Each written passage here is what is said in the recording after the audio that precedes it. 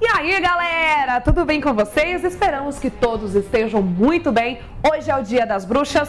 Mas então, como isso tudo começou? Qual a origem do Halloween? Do que se trata esse dia, minha gente? Pelo amor de Deus! Vem com a gente que nesse vídeo vamos te contar tudinho. E olha, você vai descobrir que a origem tem muito pouco a ver com essa festa que conhecemos hoje, viu? Vem com a gente descobrir como tudo isso começou.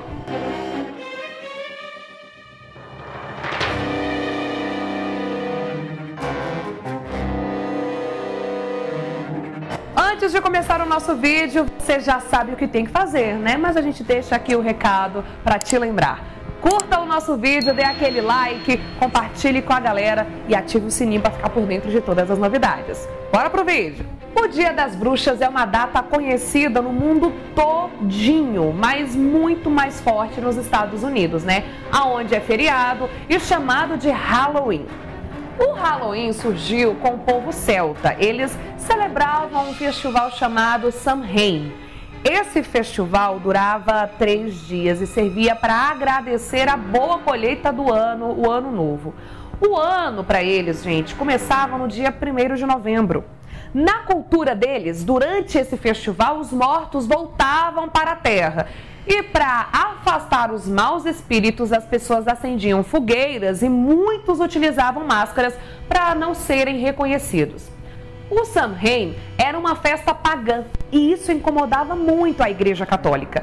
Então, no século VIII, o Papa Gregório III fez uma mudança no calendário para colocar um feriado cristão no dia de Samhain. Assim, ele pega o Dia de Todos os Santos, que era comemorado no dia 13 de maio, e passa para o dia 1 de novembro. E é daí que vem a palavra Halloween, com o Dia de Todos os Santos sendo agora no dia 1 de novembro, as comemorações no dia 31 de outubro eram chamadas de All Hallows Eve.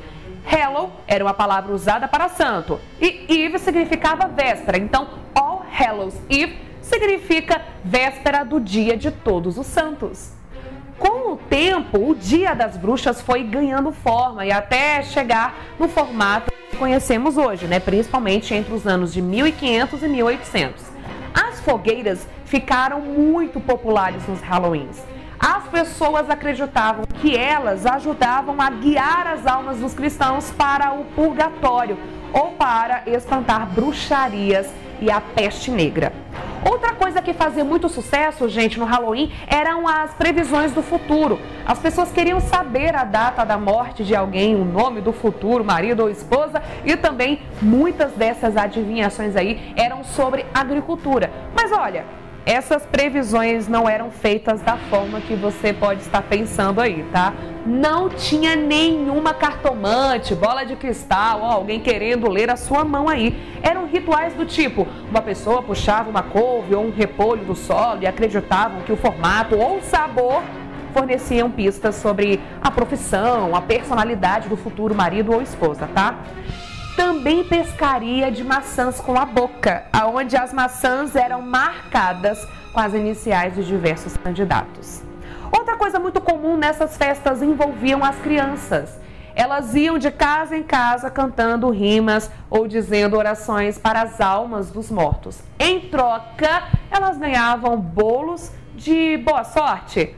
Mal sabiam que isso ia se tornar a marca registrada do Halloween que conhecemos hoje Doces ou travessuras? Já ouviu muito falar nisso, né? Bom, hoje em dia o Halloween é celebrado em diversos países do mundo, inclusive aqui no Brasil, aonde a brincadeira de andar pela vizinhança atrás de doces, enfeitar as casas com objetos assustadores e participar de festas da fantasia vem se tornando cada vez mais comum, né? A brincadeira de doces ou travessuras começou nos Estados Unidos. As crianças fantasiadas iam de casa em casa batendo nas portas e falando a famosa frase: doces ou travessuras? Elas querem mesmo os doces, né, gente? Mas se não ganharem, podem fazer alguma travessura a quem negar as guloseimas. As travessuras ficam a cargo da imaginação das crianças, mas há registros de que na Idade Média Essas travessuras eram jogar repolho nas casas de quem não tinha nada para dar. E existem outros símbolos, né, que sempre estão presentes no Halloween, que remetem a esse tema mais sombrio e que tem origem no festival de Samhain.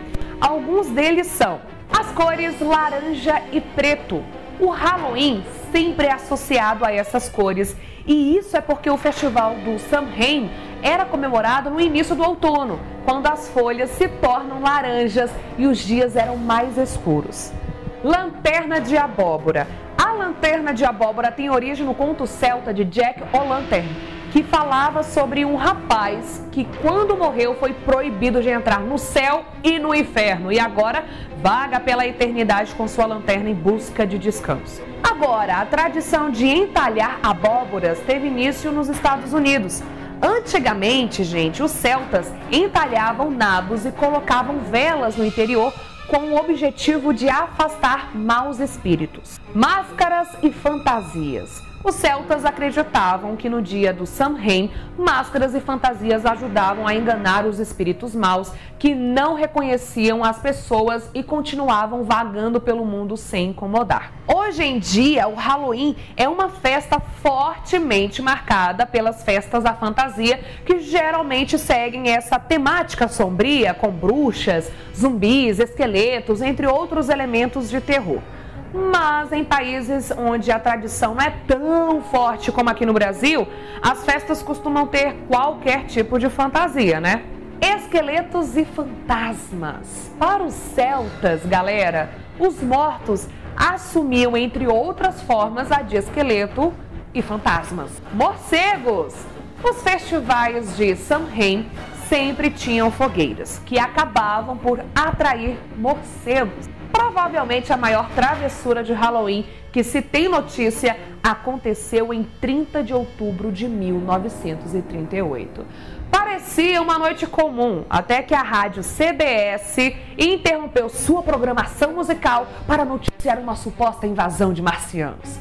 A notícia em edição extraordinária desencadeou pânico em várias cidades dos Estados Unidos. A suposta invasão durou uma hora e relatava a chegada de centenas de alienígenas a bordo de naves espaciais em Nova Jersey. Ao final da notícia, o radialista Orson Welles avisa que tudo não passava de uma brincadeira. O fato, gente, é que a tal invasão era um trecho do livro de ficção científica A Guerra dos Mundos, do escritor inglês Herbert George Wells. A tal brincadeira não só foi notícia no mundo todo, mas também ajudou a CBS a bater recordes de audiência e também marcou para sempre a história do rádio, né? Aqui no Brasil muita gente não sabe, mas o dia 31 de outubro também é o dia do Saci. Em 2003, o projeto de lei federal número 2762 instituiu a comemoração do Dia do Saci. Isso porque a inauguração da festa do Halloween no Brasil foi muito criticada, principalmente por algumas igrejas. O objetivo do Dia do Saci era tirar a atenção da festa das bruxas e, no lugar, celebrar o folclore brasileiro. O Saci é um dos personagens mais emblemáticos do nosso folclore, né?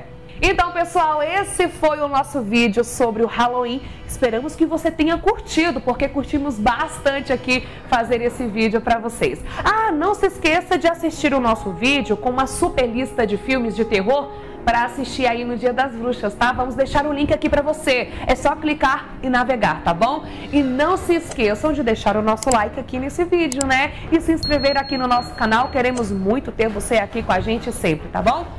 Beijo pra você, até o próximo vídeo. Tchau!